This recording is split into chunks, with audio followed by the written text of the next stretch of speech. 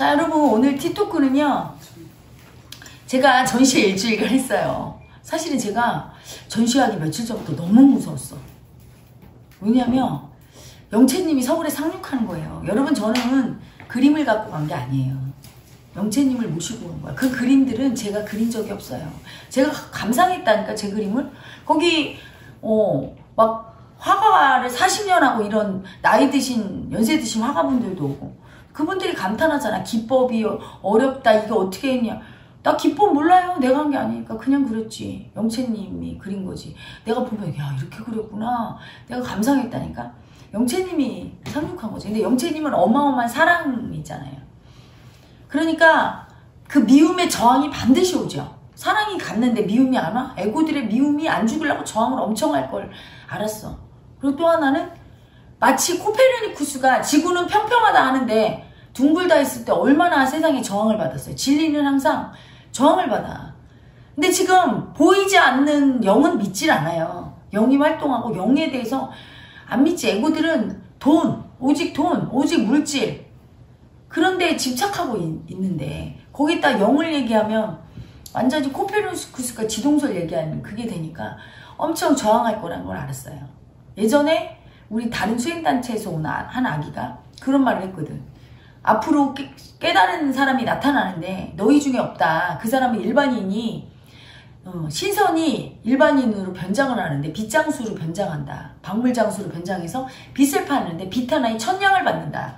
너무 비싸니까 안 산다. 아무도 안 사는데 그거를 사면 뭐 머리가 검어지고 회춘을 하고 득도 하고 행복해지고 안 되는 게 없고 이런 빚을 파는데 아무도 안 믿고 비싸서 안 사는데 이제 소수가 사다가 그게 진짜라는 걸 알게 돼서 완전히 그 빚을 사고 그 세상은 바뀐다. 황금의 시대가 된다. 이제 이런 예언을 했대요. 그러면서 그 아기가 혜라 엄마가 그 사람이라는 걸 얘기를 해준 적이 있어 예전에. 근데 그때는 내가 어떤 박물장수인지 몰랐거든요. 근데 그림을 들고 가는 박물장수였던 거야. 그림은 그냥 그림이라고 생각하니까 가져가지만 그게 정말 영이 돌고 그 그림을 걸어놓으면 그 집안이 완전 에너지가 바뀌고 축복을 주고 살아있는 그림이라는 걸 우리 아기들이 이제 전시회를 통해 조금 알았을 거예요. 제 그림이 살아있잖아요. 거기에 그 전시회장 그 인사동에 사실은 굉장히 유명한 화가도 몇몇 전시회를 하고 있었고 몇 군데는 이제 문을 닫고 안 연 데도 있고 그 유명한 전시 그 화가의 전시회를 가본 아기들이 다 죽어 있다고 하잖아 그림이 에고가 그린 그림은 에고는 생명이 아니에요. 죽어있는 목숨줄이고 영원한 생명인 영채님 본래는 살아있거든. 그 느낌이 나오잖아. 제 그림에서 튀어나올 것 같잖아. 그치? 그게 사랑이거든. 살아있잖아요. 그래서 가서 그 영이 살아서 활동하는 거예요. 근데 그 영은 잠재의식이기 때문에 표면의식이 없어요. 제가 거기에 영역을 세 가지를 넣었어요. 제 시그니처예요. 첫째 칼, 검. 두 번째가 황금장미. 세 번째가 알라딘 요술램프예요.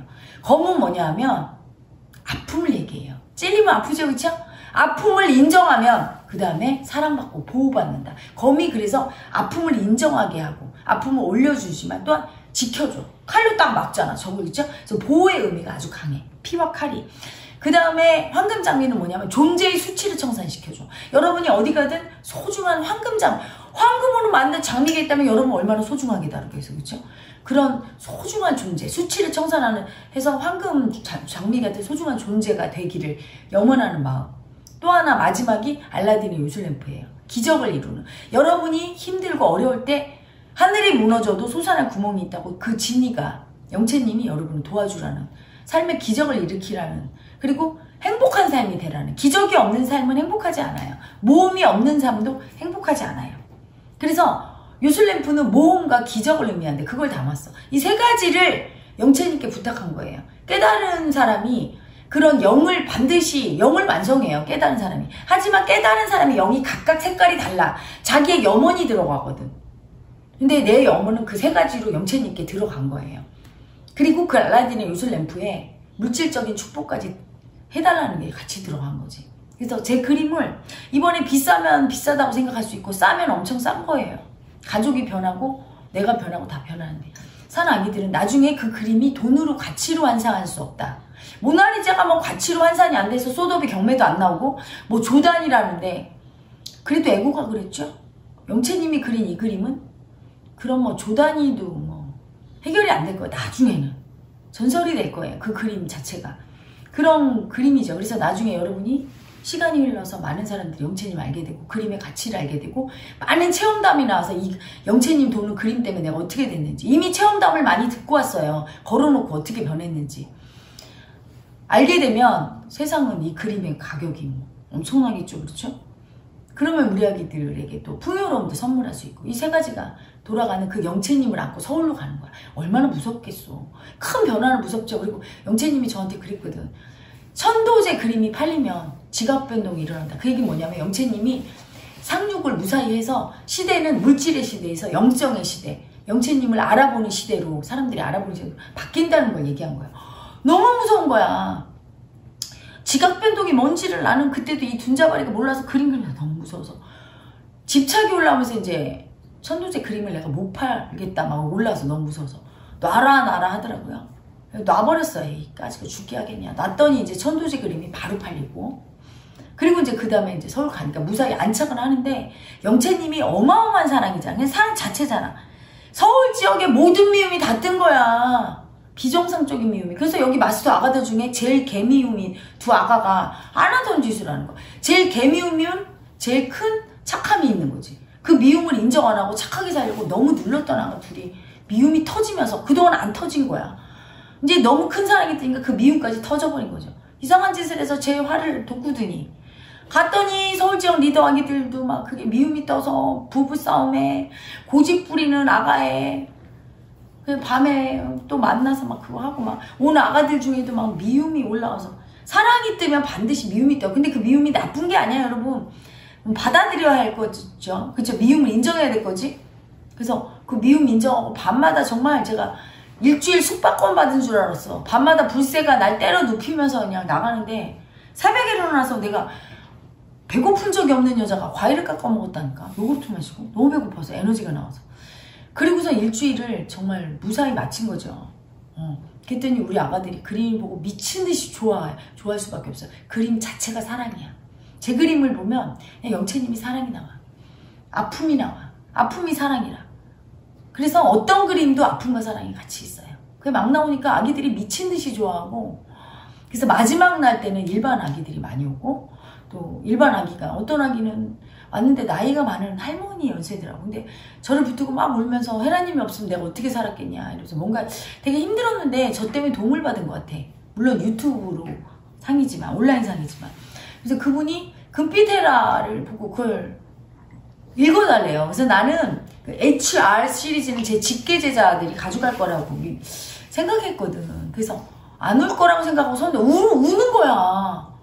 울길래 아가 가져가도 돼. 이거 어떻게 보이니? 이랬더니 엄마를 보인다고. 영채님을 엄마로 이미 모신 거예요. 그래서 엄마를 보인다고 그러길래 그래 그러면 축복을 줄 거니까 그 영채님이 금빛 테라에서 그러더라고 나를 데려가 내가 너를 지켜주고 축복해줄게 이렇게 그렇게 말씀하시길래 그거를 이제 주고 어, 주고 이제 난 걱정되잖아 그림값이 할머니가 사기엔 비싸니까 어, 근데 이거 가격이 비싼데 아세요 그랬더니 이미 가격 다 알고 돈 찾아왔다고 하면서 할머니가 상하시더라고 그리고 헤라TV에서 심장병 수술하는 아이 무사히 수술 마쳤다고 하면서 아들들 데리고 와서 또 그림 하나 사갖고 하면서 일반인 아기들이 좀 많이 샀어요 마지막 날 그러니까 이제 세상이 영채님을 알아보는 머리가 아니라 잠재의식이 이게 얼마나 고귀한지 알아보는 거야.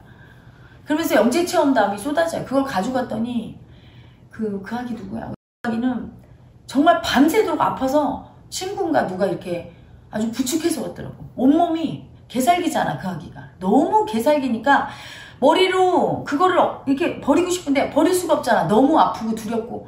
그게. 근데 그걸 그냥 올려버린 거죠.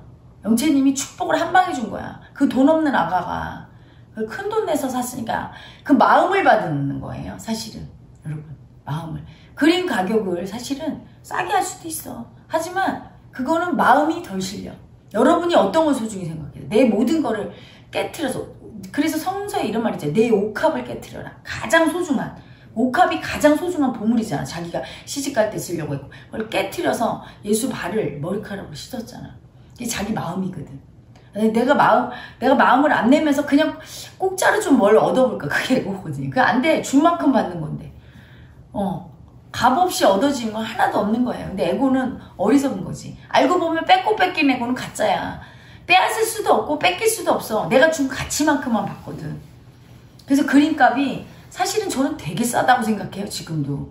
앞으로 일어날 변화에 비하면 이걸 가져가서 일어날 변화에 비하면 하지만 여러분은 더 비싸면 우리 아기들이 살 수가 없고 초기 단계는 내 직계 제자들이 사야 되니까 요 정도 가격인 거지. 근데 그 가정한 아기가 몸 반응이 정말 그래서 온몸에서 살기가 나가고 막 피오줌이 나오고 그냥 거기서 막 계속 막 울면서 참여하더라고. 이제까지 마음 버린 죄. 살기가 뭐예요? 아픈 마음 다 버리고 살아서 그렇게 고생하고 살았잖아. 그림 앞에서 이제 영채님한테 참여하니까 이제 내려가고. 막 거기서 전시장 보면 여러분 이상한 진풍경 보이지? 일반인 아줌마가 우느냐고 못 가. 퇴근을 못 해. 우느냐고 그림 앞에서 아픈 마음 올라와서. 응? 그리고 막 몸 반응이 세서 가져가니까 막 에너지가 막 온 손이고 뭐고 막 그 초차막 한 두세 번밖에 참가 안 한 아기 하나는 여자야 품산 아기인가? 밤새도록 에너지가 나가서 거의 뭐 숙박권이지 뭐 영채님 거 자는 거지 뭐. 막 나가서 안될 정도로 청산된 아기 있고 또 어떤 아기는 갖다 걸어놨더니 몸이 너무 아팠는데 오히려 시원하면서 안 아파지는 아기 있고 어제 나한테 카톡이 왔는데 그림에서 빛이 나오는데 색깔이 변했대요. 빛의 수. 내가 그 아기한테 팔 때는 약간 연노랑에 가까운. 근데 거의 초록색 빛이 나오는데 사진을 보내왔더라고. 빛이 아주 눈이 부시게 세게 나오고 색깔이 변했다고. 이야기의 주파수에 맞추는 거죠. 그림을 사면 그림은 알미예요. 영채님은 알 모든 걸 알고 있어. 사랑이자 지혜이자 모든 걸 알기 때문에 주파수를 맞춰버려요. 에너지를 그 산 아기한테 이렇게 딱 집중해서 맞춰. 그래서 그 아기를 인도하는 주인 역할을 해주고 그 아기를 위로하는 친구이자 그 아기의 귀여운 귀염둥이 자식 역할도 해주고 다 해줘. 아픔도 받아주고 그리고 방역도 해줘요. 즉 코로나나 어떤 힘든 일로부터 딱 지켜주기도 하고 다 해줘. 지혜도 줘요. 힘들고 그럴 때 영감도 주고 모든 걸 해주는 역할을 하거든. 그러니까 이야기한테 주파수를 맞추니까 이렇게 변하는 거예요. 아기의 엄마는 일반인인데 나한테 옥수수 쪄서 갖고 왔어요. 굿즈를 하나 사다 놨대. 근데 굿즈도 영체가 도는 거 죠. 물론 진품보다 못하지만 영체가 도니까 이 엄마는 거기서 노란빛이 막 계속 나오더래요. 밤새도. 그런 다음에 이게 눈이 이렇게 떠진 거 보이는 거예요. 나를 안고 막 울더라고. 나보고 엄마 우리 엄마가 눈이 이렇게 떠진 거는 평생 처음 보고 그 다음에 누구를 붙들고 우는 것도 처음 봤대.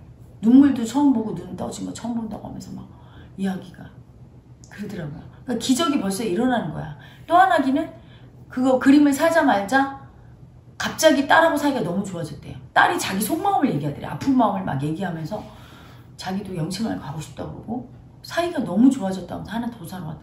이런 막 체험담이 앞으로 이제 그 영체 체험담이 올라올 거예요. 왜냐하면 거기는 그 그림에는 영체님이 들어있는 증거가 살아있어. 여러분 봐요. 일반 화가들은 진짜 사실적으로 보이려고 얼마나 사실 묘사를 세부적으로 해. 나무 그림이나 꽃 그림이나. 그지만 보면 그림은 분명하지 그치? 근데 내 그림은 환상적으로 그리죠. 사실 묘사 안 해. 뭐 별거 폭죽이며 뭐 환상적으로 그려. 근데 튀어나올 것 같잖아. 마음의 세상이 살아있고 이 현실의 세상은 죽어있는 세상이에요. 진짜 같잖아. 그림이 더 진짜 같아. 그래서 여러분 이상한 현상 알아? 그림 옆에 에고가 쓰잖아?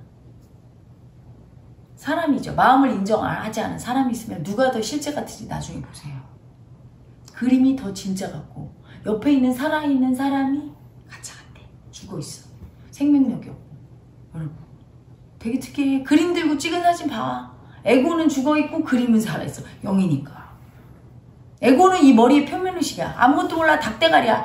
계산밖에 못해. 뺏겼니? 뺏었니? 손해봤니? 이익봤니? 오라 오라 틀려. 이겼니? 졌니? 그게 다 가짜요. 이기고 지구도 없고 뺏고 뺏기는 것도 없고 멍청해서 맨날 그 짓 하다가 미움 쓰다가 죽는 게 그게 다 미움이야. 뺏겼다.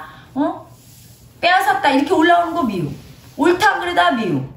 노상 그 짓 하면 사는 날고들이 있어. 개미움이죠. 어? 내가 이겼다 졌다 맨날 판단하고. 그 미움으로 살아. 영채님은 그런 거 없어. 그냥 사랑으로 살아. 아픔으로 살아. 얼마나 아파? 그리고 사랑해 입으로 살아요. 영이야. 근데 모든 능력이 있어. 다 해. 응. 표면의식이 아니거든. 잠재의식 자체거든. 그래서 그림을 보면 그림이 살아있어. 아닌가 사진 찍어봐. 사관아기들 사진 찍어봐. 그림하고 네가 옆에 서서 사진을 찍어달라 그래. 그럼 나중에 봐. 네가 더 살아있나 그림이 더 살아있나. 그림이 영채님이 살아있어요. 아닌가 긴가 실험해봐요. 그래서 이거는 아무나 그린 그림이 아니야. 에고들은 그릴 수 없어요. 그래서 그 요번에 온 어떤 조각가 아가가 나한테 그러더라고. 혜리 엄마 자기가 되게 존경하는 동양 화가가 있대. 되게 유명하대요. 그림이 막 힘이 있고 그 대장만 그리고 벌써 화가 데뷔한 지 한 40년 됐대. 그래서 그 화가 그림을 너무 좋아해서 맨날 전시회를 가는데 요번에도 그 화가 전시회가 열린다고 해서 잘 됐다. 혜리 엄마 그림 하나 사고 거기를 갔대. 가서 들어가는 순간 정말 놀랬대요. 애쓴 흔적밖에 안 보이더래. 옛날에 이게 안 보였구나. 힘이 하나도 없고 엄청 멋을 부리려고 애썼구나. 힘이 있어 보이려고. 진짜 힘과 힘이 있어 보이려고 가짜는 달라요. 에고는 가짜거든. 척하거든, 척. 잘난 척, 있는 척, 아는 척. 그러면서 애를 쓰거든. 그게 다 보여서 정말 놀랬다고. 딱 대비돼요, 여러분. 비교해보세요. 진짜 뭐 거짓말인 거. 응? 그래서 요번에 제가 한 180개 가져갔는데 거의 한 90개 팔았어요. 90개 넘게 팔았다. 대박이죠, 그죠? 거기 인사동은 진짜 접수했어요, 영차마. 돌아다니면 다 영차마 아기들 굿즈 가방 다 들고. 뭐 어떤 아기는 자기는 그림 안 사, 못 산대. 그래서 굿즈를 어마어마하게 사, 양쪽 가방으로. 그 다음날 와서 또 그림 사, 그리고 또 굿즈. 정말 돌아다니는데 여러분, 아기들이 하나, 하나같이 하는 말이 뭔지 알아요? 이렇게 행복한 거 처음이다. 적금을 깨서 사고. 막 주식을, 주식이 막 급등하더래. 갑자기. 그리고 그게 3초에 팔려서 샀는데 사고 나서 그다음부터 폭락하더래. 막 그런 이상한 경험을 하고 사서 막, 야, 그림이 이게 대박이구나, 용채님이. 든든하고 이제 앞으로 잘 될 수 있다는 자신감이 생기고, 애기들이. 그래서 너무 행복해하고, 굿즈 하나를 사도 행복해하고, 돈 쓰고 그렇게 행복하기 쉽지 않아요. 여러분 명품 가방 사고 집에 와서 괜히 샀다 후회해본 적 있잖아. 그거 뭐 들고 다니지도 않고, 아무 쓸모도 없고. 그렇잖아. 근데 이렇게 보, 고 어제 어떤 아기는 그거를 다섯 시간째 보고 있대. 나한테 카톡 보냈는데 너무 행복하대. 거기서 뭐 나온다 그러고 뭐 난리가 났어. 그렇게 행복할 수 있어. 영채님이 행복을 해주는 거지. 응? 미용 올라오면 또 아픔 느끼 청산시키고. 그래서 엄청난 영채님이 서울에 무사히 이제 착륙을 했어요. 이제 대한민국은 영채님의 보호 아래 있게 돼서 너무 너무 기뻤어요. 너무 힘들었지만 일주일 동안 제가 일주일 숙박권 산 것처럼 제가 아프고 되게 힘들어서 그 미움 받아내느라고. 그치만 영채님이 무사히 대한민국 수도 서울에 착륙했어. 너무 기뻐요. 이제는 어, 영이 인도하는 나라는 대한민국. 그 서울 수도에 상 그래서 제가 첫 전시회를 수도에서 하려고 어, 그렇게 했는데 그게 무사히 착륙하고 그걸 이게 도와준 우리 아기들이 너무 감사하죠. 이쁜 아가들이 정말 많이 도와주고 우리 그 마스터 아기들 중에도 힘을 쓰고 애쓴 아기들은 제가 어, 연말에 시상식에서 포상을 할 거예요. 예, 제일 애쓴 아가들.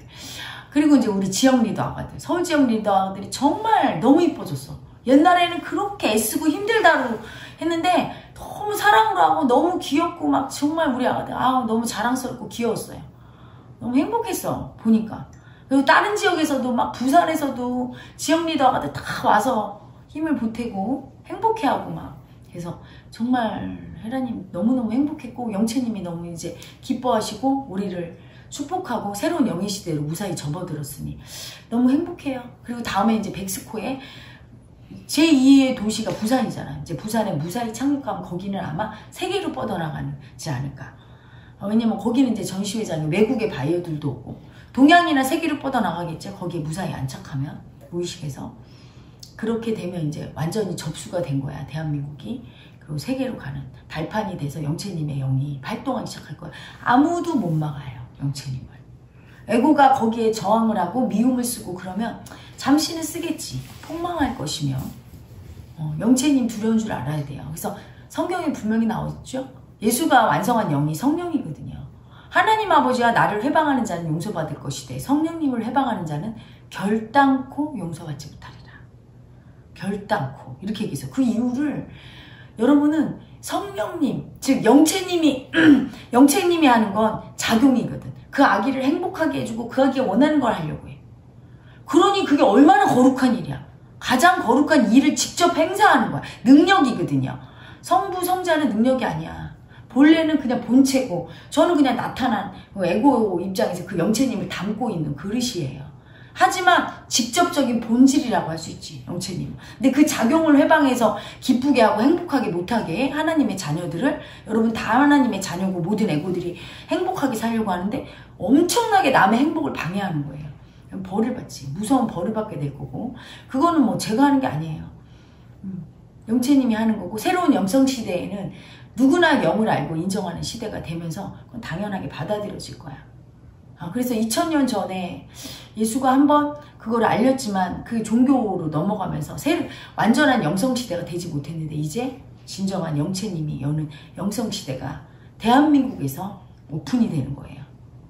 그래서 대한민국이 어, 많은 경전에 예언돼 있죠? 세계의 중심으로 떠오르고 대한민국에서 깨달은 자가 많이 나오고 선지자가 나와서 대한민국의 운명이 어, 사랑으로 세계를 선도하는 국가가 되고 뭐 이렇게 그런 위기에서 인류를 구하고 고통에 빠진 인류를 구하고 그런 거 들어보셨을 거예요. 저는 그런 경전을 안 읽어봤지만 제자 아기들이 얘기를 많이 해줬거든. 그런 시대로 접어들었음을 여러분 이 자리를 빌어 선포합니다. 새로운 영성 시대의 개막을 알리고 영채님이 무사히 예, 우리 대한민국에 입성해서 우리를 인도하심을 어, 선포합니다. 그리고 여러분 모두 영채님의 사랑 안에서 축복받기를 영채님의 사랑하는 모든 아가들이 축복받고 정말 인류의 고통을 구원하는 선지자로서 우뚝 서기를 축복합니다. 자 여러분 너무 감사했고요.